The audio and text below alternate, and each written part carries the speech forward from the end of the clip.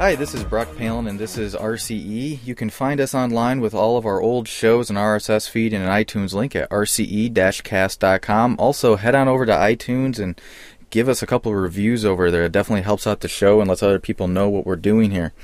Also, I have Jeff Squyres, who is back from a one-time ever hiatus, um, who is helping me out again. Jeff, thanks again for your time. Brock, yeah, let's let's just say I was um, let's say I was on vacation in Barbados or something exciting like that. That that, that makes a better story. Uh, this, but glad to be back. Um, and uh, this today, I think we have a pretty good, uh, pretty cool topic. It's a little departure from our normal HPC Linuxy kinds of stuff, but it's a very related topic. Kind of, kind of strays into the whole I/O field, and that is a big deal for all of us. So, something worth talking about today. Yeah, we're moving into. I mean, when a lot of people talk about in our industry about big data, these guys definitely have big data, but it's a different kind of approach. So let me go ahead and introduce our guest today. Our guest today is Scott Long from Netflix, and we're going to be focusing on something new that Netflix is doing to try to make their service better. So, Scott, might take a moment to introduce yourself. Yeah, hi, Brock. Thanks a lot. Um, and thank you, Jeff, also. So, my name is Scott Long, and I work at Netflix. Um, previously to Netflix, I've been there for about eight months, but previously I was at Yahoo for about five years working on their uh, operating system infrastructure. And prior to that, I've done uh, years, many years at places like Adaptec and uh, other storage companies that uh, been specializing in basically drivers, storage infrastructure, low level stuff like that. Um, outside of work, uh, I've been a very active member of the FreeBSD community for about uh, 12 or 13 years now. I was the release engineer for a number of years. Um, and prior to that, I actually attended University of, University of Michigan briefly in the early 90s. Um, and I now have a degree in uh, actually aviation science of all things, but I still do computers as my day job. So that's that's about it for, for me for background. Okay, well, thank you. And you know, being a U of M person myself, it was actually when you came out and gave this exact same bit of material to a number of students here and faculty at the University of Michigan, and gave me ideas like, "Hey, this fits right into like what a lot of people who listen to our show would be interested about." Yeah, and I would have too that you're you're in good company because uh, Brock, you're like a nuclear physicist or something. I studied nuclear engineering, um, and yeah, I was looking for a summer job and started doing swapping CPUs in old burnout clusters, and here I've been ever since. Yeah, I have a BA in English. Can you believe it? Very nice. I was actually an airline pilot for about six months last year, but uh, gave it up. Oh wow! All right, so we're coming from quite the diverse background, but that brings different perspectives to computing. So this is a good thing. Mm-hmm. Okay, so the actual thing we're talking about, um, Netflix kind of has is known for DVDs in the mail. Um, we're going to be focusing on the streaming service, which has been kind of a growing part of the business. Uh, can you tell us a little bit about Netflix streaming and some of the challenges you guys have? So yeah, um, as you said, you know Netflix's original business was DVD by mail, and part of what made Netflix so good at that was understanding the data science of that that it's not just about putting a dvd into the mail it's also about knowing how many dvds to inventory um, and and how to pre-stage those those dvds out throughout the country into distribution centers so they could quickly get to customers. And that was all very much you know data science and, and data analysis and that's what they got very good at over time. About five years ago uh, it was becoming very clear that the dvd business would not last forever obviously and that was time to get into streaming so they they took some of their data science knowledge and applied it into into streaming, um, licensing the same content that they were getting in physical media and hosting it in the same Amazon cloud services that they were using for their their uh, DVD sciences and getting out to customers. And um, it's been a growing thing ever since. Uh, and it's been growing so much that we're actually starting to take some new directions with that and and instead of having everything be hosted in the Amazon uh, web services and distributed over the, the, content delivery networks like Akamai and Level 3. And I, will talk more about those in a little bit. We're actually starting to take a lot of that in house uh, in order to help ourselves grow more and, and optimize for, for better ser- service and better customer experience. So how much data are, are we talking about here? I mean, video is kind of you know the next generation internet. My company, I work for Cisco, has done big bets on video and has made a lot of predictions on how much video is and where it's driving the network and things like that. But how much data do you guys stream, say per day, per month, something like that? Um, I actually can't give a good numerical value, but what I can tell you is that we stream over 33% of the internet's peak traffic during peak times. So, um, so 33% of a ginormous number is basically what you're saying. Yes, yes. Yeah.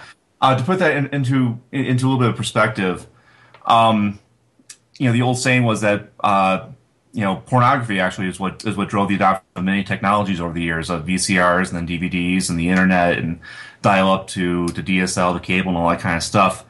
Um, movie streaming in terms of things like YouTube and Netflix and Hulu have actually eclipsed that original segment by a large factor now, and and and now you know the actual TV shows and movies that we're streaming is is you know makes up.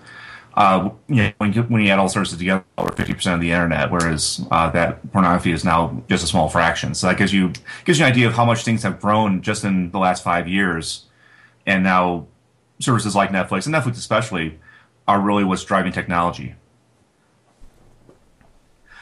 So if I've got a device at home and I've got a Netflix streaming account, what exactly is the process of? You mentioned Amazon Web Services in there, and so you know where do the bits, where does all the hardware, and where does stuff come from? All right, so there's really two sources of what's going of what is going on. First source is that when you bring up your your client or your web browser to, to go to Netflix to choose a movie, that's going to go out to the Amazon Web Services, and those those services are, might be on the East Coast or on the web or on the West Coast or in some data center in between. But you'll go there and you'll pull down the selection of movies, and you'll be able to browse through and even see some clips, all that kind of stuff. That's all coming from Amazon. Um, but the next big step is when you actually go to play a movie, and and the first thing that happens there is um, when you when you select a movie, you go back to the Amazon Web Services to exchange some keys. Um, it's you know basic encryption key type of stuff. All right. So along those lines, uh, you talk about. Well, wait a minute. Actually, I'm sorry. Brock was IMing me in the middle. Did you say anything about your uh, Amazon? Like you pick which Amazon center you end up coming from? Oh, so uh, which center you come from is really based on your geography. Uh, you know the the the big networks out there have a big database of, of everyone's ISP and approximately what geography geographical location they're coming from. So you know, based on DNS, based on IP address, that kind of stuff. So you, you get directed to to the closest reasonable Amazon center for your geography. All right, interesting. So so you're basing off locality. Do you also base off uh, what kind of network they're coming in off of? So like mobile versus broadband and these kinds of things. And do you pre-stage different movie formats and resolutions and whatnot to match? So when it's just getting the movie started, no. But so the next step for, for playing the movie, like I said, is, is is you actually hit the play button, you exchange some keys with Amazon, and then Amazon sends you your client out a list of servers that it thinks you should contact in order to start getting the bits. And those that list of servers based on your geography. It might be based on your client. It might be based on what kind of network you're on, whether it's a cell network or I or DSL or cable modem. Uh, there's a lot of decision making that goes into that, but in the end, you get a list of servers, and basically a list of files because all because all the streaming is is just uh, pulling down HTTP content. Um. So yeah, so um, and then you start streaming.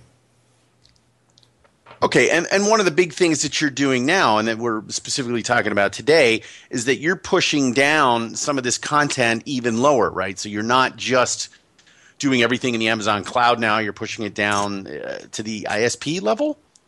Right. So there's a couple of reasons for that. First one was that you know while we had this great network of content delivery networks of, of third party networks that were that were delivering the content to the to the local regions, the ISPs were still complaining that they were getting killed by our traffic. That you know, especially some of the smaller ISPs, were, were having a huge percentage of the traffic be Netflix, and it was costing them a bundle to link up to the upstream where, where the uh, where the content was. So we started having this idea that maybe it would make sense to to try and get uh, the data closer into the ISPs, especially Um, yeah, especially ones where, where there's enough traffic for it to really make sense for for it to be mutually beneficial. Okay, so you've gone from having no data centers and running everything in some sort of other, you know, operation service provider to you're putting actual physical boxes with disks in them in local ISPs all around the country and I understand heavily in Europe also. Like it, like what's the makeup of these boxes and what do they really do? So the boxes can be seen as kind of a building block type of thing. Um, one box can hold about 10% of our library. And we'll place one or more boxes into an ISP or into a, a, a larger regional data center based on our, our traffic and our content needs. Um, you know, the boxes can be can be built out horizontally to serve more clients the same data, or they can be built up vertically to serve the whole library to to uh, to a, a, given set of clients, or they can be built down both directions to make a, a big super cluster that can serve a whole region. So what's the hardware makeup of, of, of let's say I'm, you know, a, a, tiny, relatively local ISP in the Midwest in the United States. Um, what kind of box would you deploy there? Like what kind of storage and things like that? So we have really one kind of box. It, we're working on a second one, but I can't talk a whole lot about that right now. But basically, the main box that we're deploying right now, it's a PC box. It's it's a 19 inch chassis, um, fairly uh, fairly customized because we want to be able to fit into uh, small data centers and, and telco data centers, that kind of stuff. So it, so it's, it's not very deep. It's very compact. Uh, it's about four U four U tall and it holds 46 hard drives, uh, 36 spinning drives, and um, six SSDs. And how much storage total are we are we talking here? Uh, we're talking about 120, 130 terabytes of storage. All right. And do you use redundancy or RAID or any kind of thing like that? Or if the box crashes, it's gone? So we do have a mirrored boot volume. Uh, you know, obviously you don't want to lose lose the, lose the boot volume and have the whole machine be offline. But beyond that, we actually don't mirror or stripe or anything like that at all. Each disk acts as its own independent file system, and we do that very much for reliability. We don't we don't want to have one disk go down and bring down a whole stripe of, of disks with it.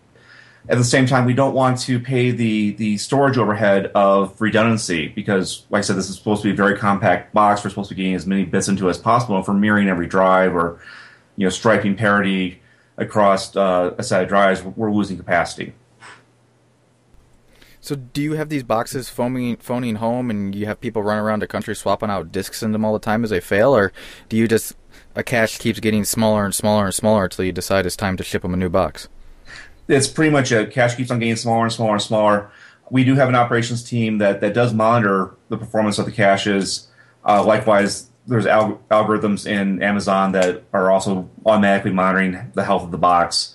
But really, what happens is that if a disk dies, that disc happens happens to hold you know X number of movies, and when that disc dies, those movies are no longer available from that cache. So your client then goes find goes and finds another machine that does have those movies.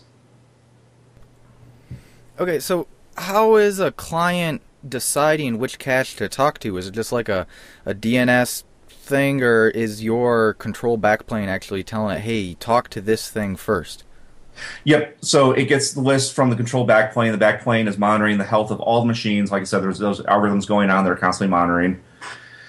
So, um, so yeah, so that control backplane just always has a list of, of candidate machines that sends out to the clients, and the clients just go through that list. And if they if they run up to, to the end of the list, and they go back to the to the backplane and, and ask for a new list. So, how do you decide what to cache uh, and and where? Is it very much based on demand. So if you know 20 people are asking for a movie, you'll cache it down there, or do you ever let some go upstream, or do you always try to cache? What kind of strategies do you use? It depends on the size of the of the deployment. Um, like I said, for some some ISPs might only get one box, and that one box will cache, even though it's only about 10% of our library, it'll be able to handle about 80% of the traffic because it's the whole popularity versus long tail type of problem. So that's part of our survey when we when we when we talk to an ISP of, of seeing how much traffic they have and what their what their mix is. But the other part of it is that once again, data science in in Amazon will sit and look at the popularity of content on a day by day basis, and will shuffle the content around on each box at night during a during a fill window. So new movies get get brought in, unpopular movies get deleted, and we, we just automatically shift things around that that way based on what we think is going to be popular the next day.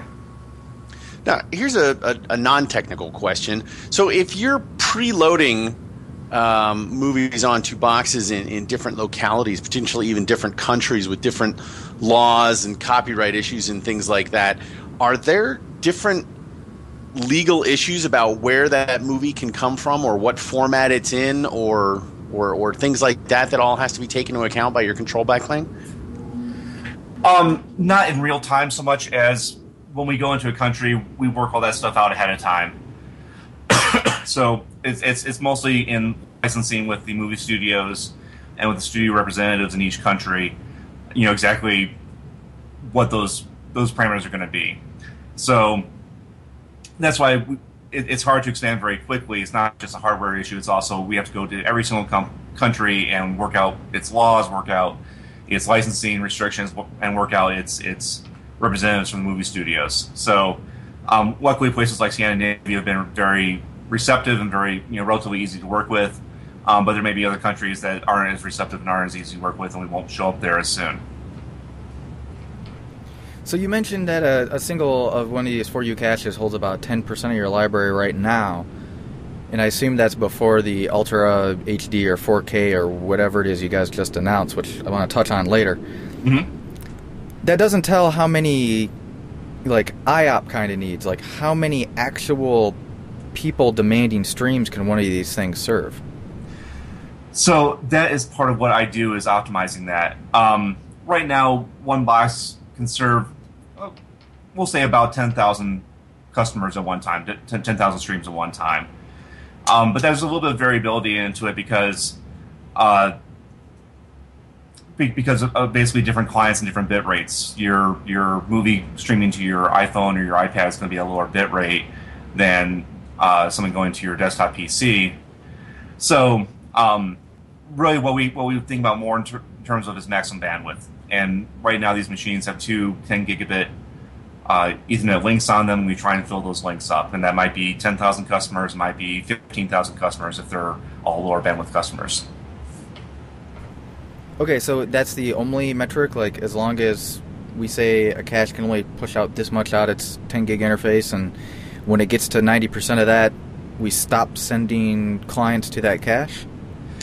It's a little more complicated than that. Um, the control backplane is constantly looking at the health of the cache, and by health, it's looking at things like latency. It's looking at at um, latency on the on the network interface, latency on the disk interface. Also, each client that's streaming the movie is also phoning back to the backplane and, and, telling it how how good quality of, of bits it's getting from its server. So between all those metrics and, and, and all that monitoring, the backplane starts to make decisions and says, you know, it, it'll see that the server is starting to get overloaded, that it's starting to drop packets, or its service latency is getting too high, and it'll start to uh, shift away from that server and, and, and, try and rebalance away from it. Now, you mentioned that you have a bunch of uh, spindles on the machine and you have some SSDs. What do you use the different technologies for? So the spindles are all three and four terabyte drives, and you know obviously as hard drives get bigger, we'll be adopting those to get as much storage as we can and that's really for holding the majority of our content.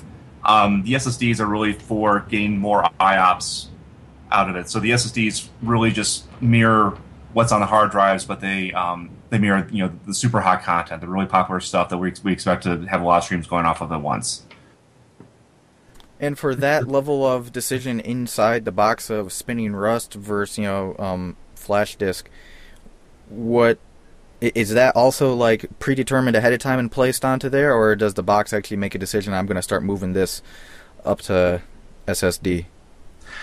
Um, the box when it gets its manifest from from the backplane of what movies to get, that that manifest is also sorted by popularity. So the box will take a look at how much space it has on the SSDs, because once again, an SSD might fail too. The box will take a look at, at what how much space it has, and it'll it'll manually shift stuff over based on what it sees in the manifest.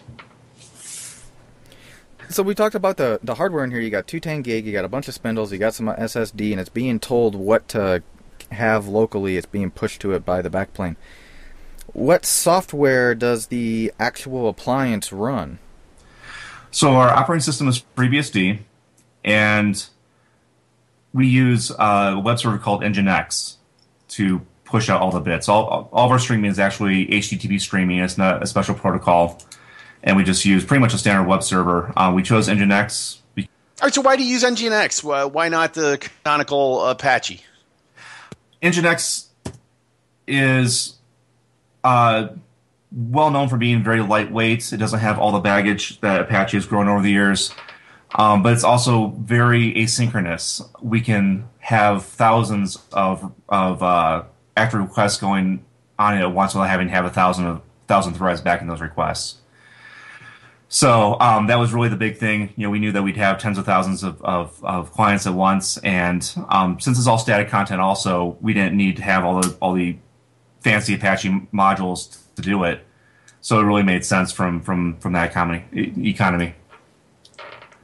All right. Now you mentioned earlier too um, that uh, a machine looks at its manifest and whatnot. So let me dive a little deeper on that. How does what what do you ship to an ISP? Do you ship something preloaded, or do you ship basically an empty box with some kind of unique identifier? And when it phones home, you know the backplane says, "Oh, here's the you know ten percent of the database you're supposed to have," or or these 10 things are going to you know what what's the protocol for bringing up a new machine once it's uh, physically co-load um, we really just pretty much ship it to the ISP. We rely on, on them to install it. Uh, we try and make everything as easy to install as possible. It's just a matter of plugging in power, plugging in the network, and then bringing up a, a, uh, a logging console locally to set the set things like the IP address and routing parameters.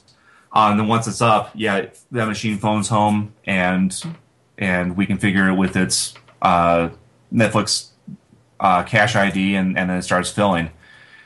Um, one thing to keep in mind, though, is that this isn't just going to ISPs. This is also going into major data centers too. And for the major data center stuff, we're actually the ones that are that own those machines and configure them. And you know, we've we, we, we've talked a little bit about uh, trying to preload those, but um, but yeah, for for the small ISPs, it's very much we ask the ISP just to unbox it, put it in a rack, and plug it in, and and they're done. Now, when you say major data center, what exactly by that? Do you mean like a, a Time Warner, like uh, they serve an ISP of a, a ten state area, or or what? You know, we still can consider those to be ISPs. What what we mean by a major data center is the major network concentration ports points around the country. Um, you know, the old May MAE West and MAE East in San Jose and in New York, and you know, data centers where where a lot of bandwidth comes together and, and aggregates and go back goes back out. So we're actually buying rack space in those data centers and, and those big exchange points and building huge clusters of machines that we own and we operate ourselves. And then we are offering peering out to ISPs, ISPs that maybe are too small to justify us giving them a box, or ISPs that for whatever reason don't want a box. So we basically part, you know, partner the bandwidth be- between us at those peering points and those those other ISPs and control everything ourselves. So, what kind of real savings are we talking about here to these, you know, these last mile, you know, network providers? What's one of these boxes really kind of equating around a country? Um, we offer the boxes for free to the ISPs that we give them to, so it costs them nothing, and we we we tell them that you know with an embedded box in their data center, they could save 80% of their traffic, or if they have multiple boxes, maybe 90% of their traffic. And when you talk about, you know, us being a third of, of, of their overall traffic, that's a significant amount of savings for them. Um, for the other kinds of installations where where the machine is, is at one of our data centers um, or one of our racks and, and we peer to them, um, once again, it's a pretty similar savings in that uh, you know we're we're we're partnering on the bandwidth costs between us and them. So the bits that we send down, the bits that they ask for from us, pretty much uh, even out, and once again they get a, a very significant savings from partnering with us. Okay, so what about the challenge of you? You went from having no servers, no data centers, everything's hosted by a third party. It's really just your, you know, your sauce and your licensing deals to you have machines you own around the country in multiple places, and then you have machines that you're kind of responsible for for security updates and everything else hosted in third party places you don't have access to. What's been the challenges and everything else of dealing with this? So, um, big challenge when it comes to especially those those embedded caches that we don't own that we give to the ISPs is making sure that we have some sort of a reliable back channel so that if the machine does go down, we can get into it. Um, and that's actually been been a big topic recently um, that we've been working on is is is making sure that if the network link goes down, that the other link is available on on the second port, or if a or if the ISP only has one one port hooked up, they only want one 10 gig port hooked up. Uh, trying to figure out what we do with that if that one link goes down. So that is a bit of a challenge. Um, so part of our job is to make machines as reliable as possible. That if it does crash, it comes back up. But obviously, we, don't want it to crash at all. So, um, thing, so that's why we do have an operations team that is monitoring the performance of all machines all the time so that we can be predictive about when a machine might have problems and we can take it offline for that ISP or we can alert them and tell them that you know we need them to, to do something for us. Now, how distributed is the control of, of your machines? Um, let's say here's a fictitious but probably not unrealistic scenario. Uh, some ISP or data center has uh, two or three or more of your caching boxes there. And for some reason, let's say the, the ISP goes off the air, right? They lose their general internet connectivity and your machines lose connectivity to the mothership. Mm-hmm. Can they still function? Um, do they coordinate between each other at all? These kinds of things. They they can't actually. They really need to be able to talk to the backplane um, all the time. And if they if they do lose connectivity to the backplane, um, if they lose connectivity to the backplane, then, then presumably the whole ISP has lost connectivity. You know, there's been sort of, some sort of network outage, and which means that, that if the clients can't talk to the backplane, then then they're not going to be getting the, the decryption keys to watch the movies anyway. So it's, it's kind of a kind of a kind of a, a, done deal. If if if if you're watching a movie and in the middle of watching that movie the backplane goes down, um, you, I think you can still watch to the end of the movie, but you can't start anything new. So, are the movies held on to cache, or even in your, you know, you could say like your your root, your your original source for all the content? Is it one file per movie per bitrate, per format, or are they like broken in multiple pieces? Like, we're talking about very large files, we're talking about very small files, we're talking about you know, what what really happens here. So, um, the movies, each video bitrate has a different format or it has a different file. Each video uh, format has a different file. So your your iPod and your your Android tablets will have one certain kind of format. Um, your that's that's different from uh, your PCs or, or, your PS3s or your your Wii, and a lot of that's driven by technology um, of those different platforms, and some of it relates to the to the to the bit rate. So what comes down to is that each movie might have as many as, as seven or ten different video files associated with it, and your client picks the one that's most appropriate for it.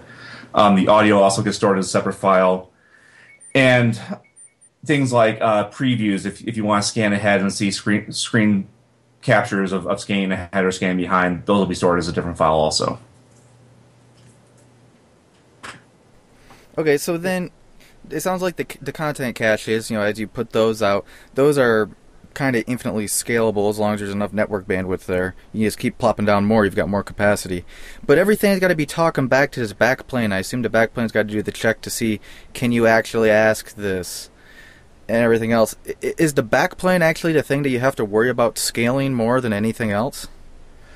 Uh, Scaling not so much because the great thing about Amazon is that we can always put more instances of machines online, um, and our, our, protocol has has always been designed to be very scalable in that respect. So, you know, as as our customer base grows, we just put more instances of, of backplane machines online in, in AWS, and everything works. Uh, where we do have problems is when uh, we have outages from Amazon and that's something that you know it happened right before Christmas. It happened a few months prior. That's something that we have become very sensitive to, and we're working to build more resiliency into that by you know basically working better with Amazon to to, to make sure that doesn't happen. So you've got all these machines all around. How, what software do you use to manage them? Just to manage, you know, uh, putting images out there and just you know the the day to day system administration of things. Do you use any popular software for that, or is this all a homegrown solution? It's all very much homegrown. Um, when it comes to uh, like data analysis and visualization, there are some packages that we use that I, I apologize, I can't think of off the name of the top of my head, but um, that's just not my area. But when it comes to like um, deploying uh, new images or, or, or, or upgrading an OS, that's all homegrown tools. Okay, so is there more plans? You mentioned you were working on a second box. You don't have a whole lot to say about that, but what are the future things for trying to improve the Netflix streaming service? This ultra high HD thing that will, I guess, require one of these caches. Am I correct the way I was reading that? That is correct. Um, so our, our plan is always to to get bigger and do it more efficiently.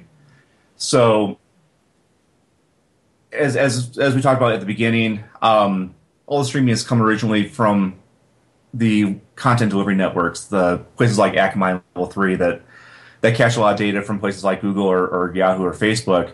They also cache our data.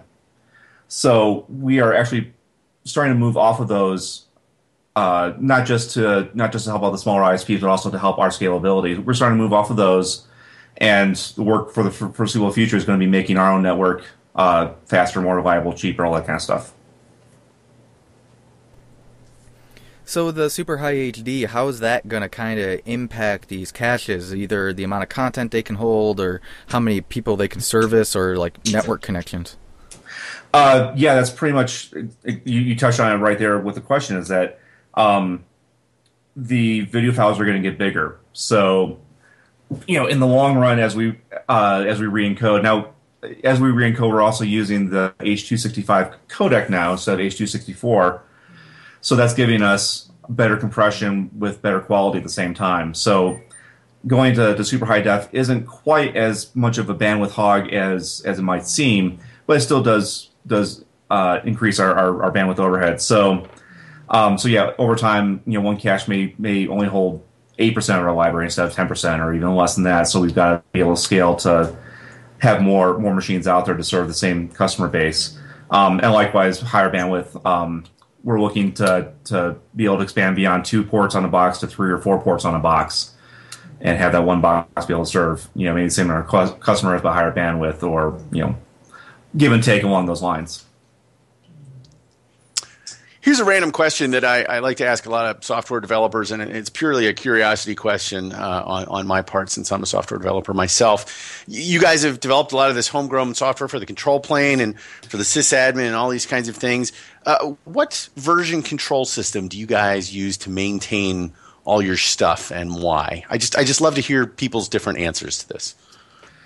So the main system that we use in Netflix is Perforce and honestly, I can't tell you why that it was. It, it, predates me by quite a long time, um, but that's that's what's used for all you know all our clients and all our control software and pretty much ninety nine percent of the business.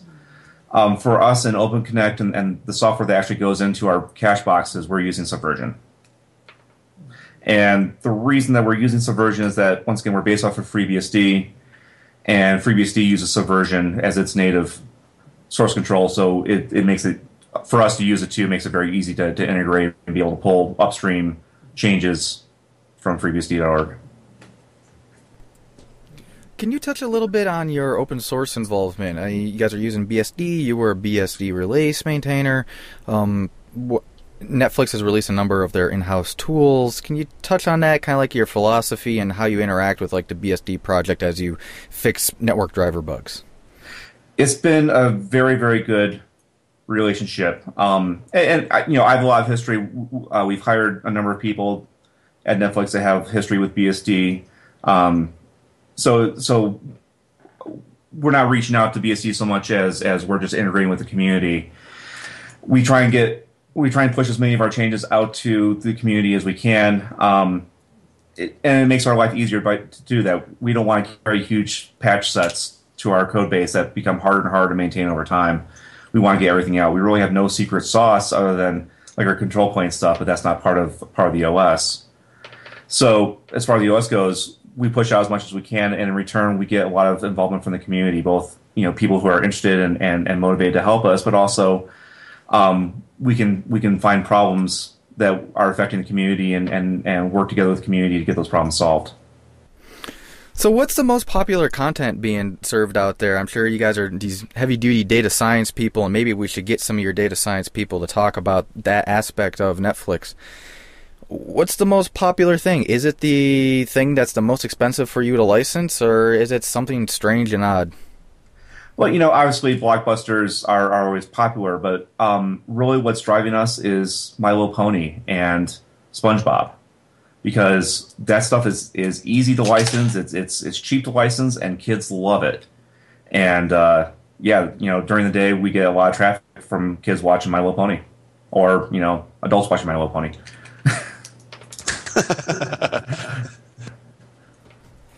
Okay, Scott. Well, thank you very much for your time. This was very informative. A little outside our normal area, but I think people are going to like this a lot, especially anybody who's looking at how you would manage an extremely large infrastructure.